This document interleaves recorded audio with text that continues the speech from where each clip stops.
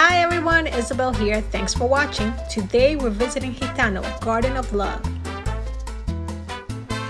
This very modern Mexican restaurant is located in downtown New York. Visiting this restaurant, you will feel transported to a tropical vacation.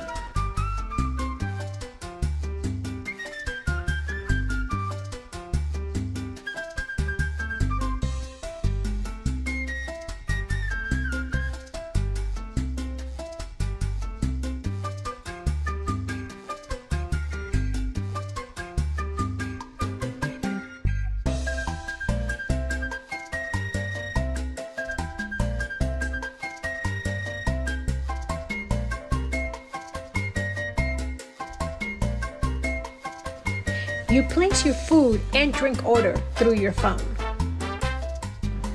Cocktails were very tasty, but not too strong. But I was really shocked by how good the food was.